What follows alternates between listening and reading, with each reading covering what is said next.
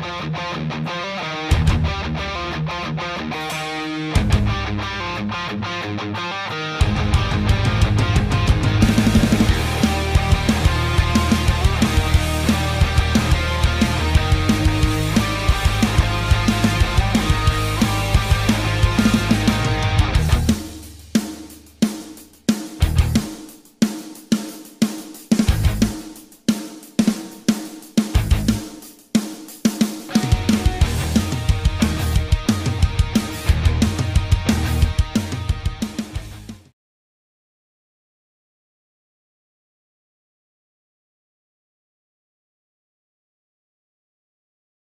Guys.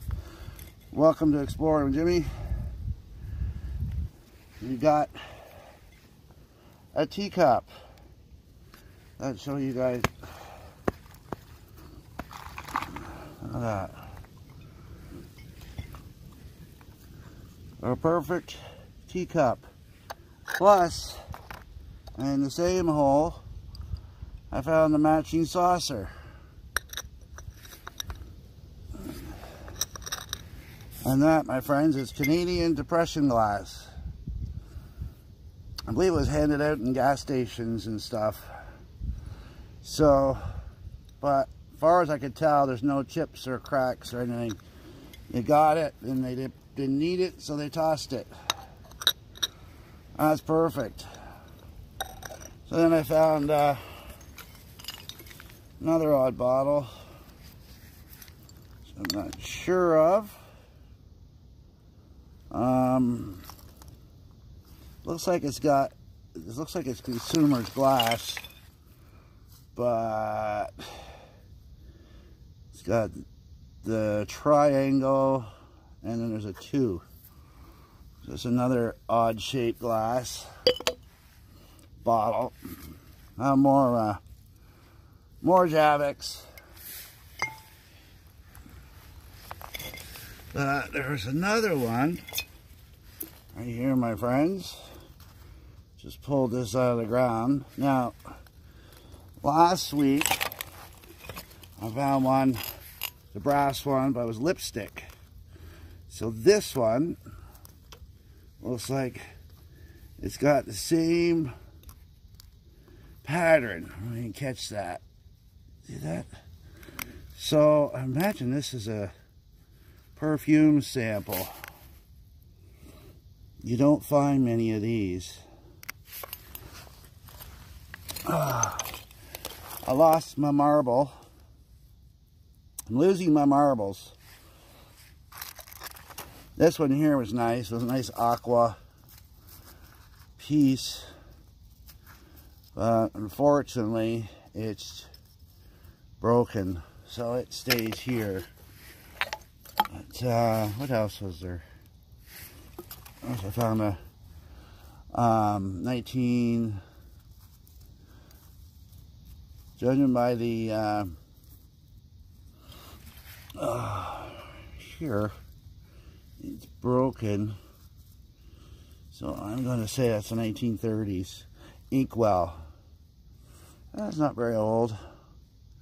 Looks like it's from Consumer's Glass.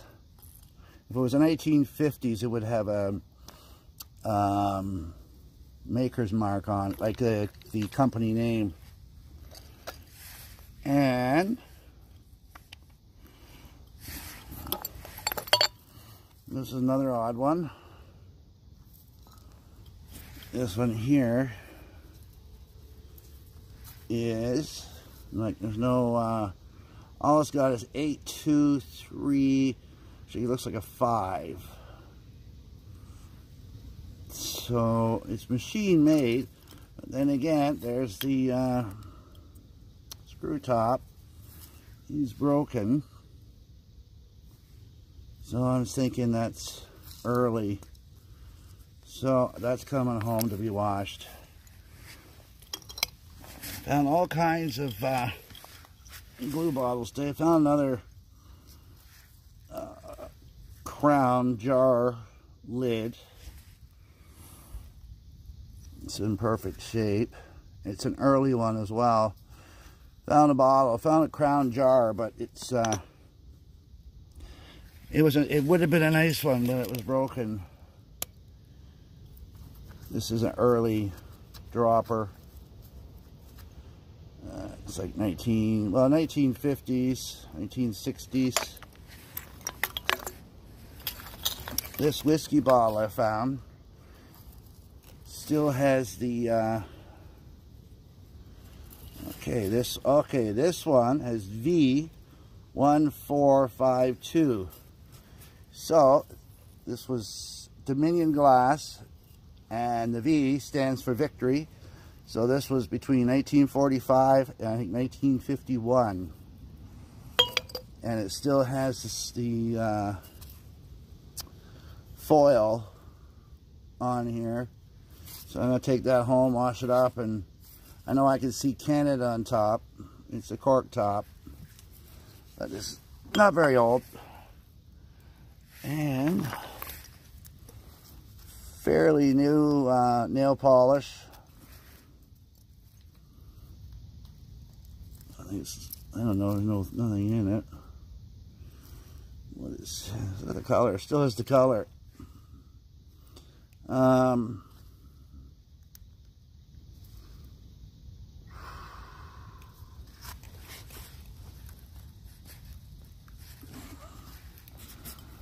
this is, oh, it's hard to read.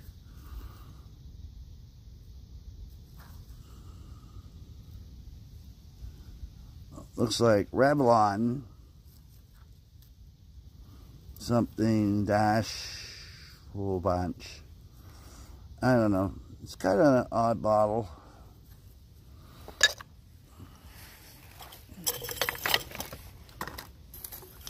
Yeah, I think that's about it, folks. So please click like. Oh, one more. Tea strainer. that's kind of neat.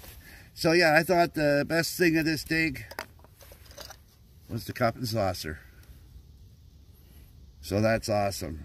Anyways, guys, please click like, subscribe, and we'll talk to you again. Bye for now.